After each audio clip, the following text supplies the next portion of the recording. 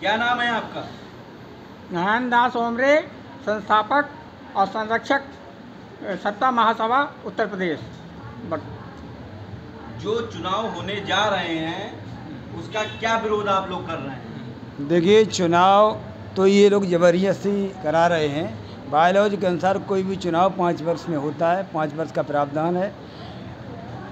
गत बीस वो अठारह अठारह अक्टूबर 2020 को तत्कालीन संस्थापक संरक्षक श्री बी एल विशारद द्वारा कार्यकारी भंग कर दी गई थी। उसके बाद जो है, चुनाव उनके निर्देशानुसार दिव्यापुर में, कमला गेस्ट हाउस में 20 दिसंबर 2020 को हुआ था। उसमें उनतीस जनपदों के प्रतिनिधियों ने भाग लिया था।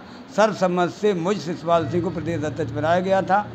लेकिन अब कुछ स्वार्थी लोग अपने स्वार्थ के वसीभूत होकर लोगों को गुमराह कर रहे हैं और चुनाव मैंने मेरे संज्ञान में आया है कि लखनऊ में करा रहे हैं जो एक अवैधानिक है असंवैधानिक है और नियम विरुद्ध है।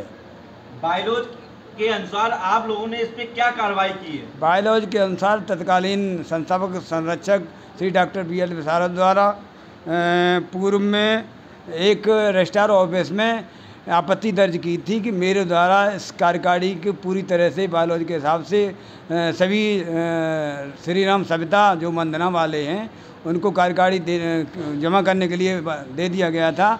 लेकिन उन्होंने मुझ अपंग होने की वजह से वो कार्यकारी वहाँ जमा नहीं की ताकि हम लोग गुमराह हो रहे।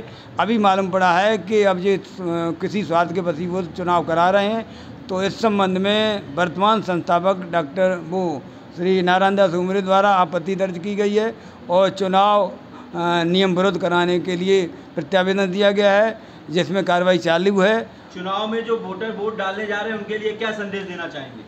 चुनाव में जो वोट वोट डालने जा रहे हैं उन लोगों को ये स्वार्थी लोग गुमराह कर रहे हैं बैकडेट में रसीदें काट रहे हैं और धन की उगाही कर रहे हैं जो जो है जनता को समाज को गुमराह करना है।